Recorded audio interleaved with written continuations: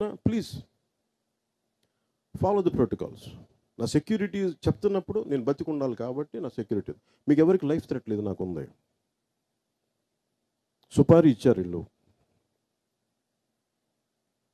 ఒక మనిషిని చంపేసిన తర్వాత బయటకు వస్తాయి. ఎందుకంటే వాళ్ళకి నేను చెప్పాను కదా మీరు నేను పాలిటిక్స్లోకి రాకముందే రెండు వేల ఆరులో కూర్చోబెట్టి మీరు రాకూడదని ప్రియంటివ్ స్ట్రైక్ చేస్తాం ఈరోజు ఆల్రెడీ వాళ్ళకి ఇబ్బంది ఉన్నప్పుడు నన్ను బతకనిస్తారా మీరు చెప్పండి? లైఫ్ థ్రెట్ ఉండవనుకుంటున్నారా ప్లీజ్. ఫాలో ది ప్రోటోకాల్స్ నా సెక్యూరిటీ చెప్తున్నప్పుడు నేను బతికి ఉండాలి కాబట్టి నా సెక్యూరిటీ మీకు ఎవరికి లైఫ్ థ్రెట్ లేదు నాకు ఉంది.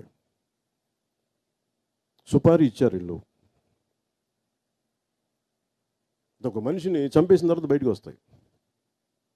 ఎందుకంటే వాళ్ళకి నేను చెప్పాను కదా మీరు నేను పాలిటిక్స్లోకి రాకముందే రెండు వేల ఆరులో కూర్చోబెట్టి మీరు రాకూడదని ప్రియంటివ్ స్ట్రైక్ చేస్తాం ఈరోజు ఆల్రెడీ వాళ్ళకి ఇబ్బంది ఉన్నప్పుడు నన్ను బతకనిస్తారా మీరు చెప్పండి?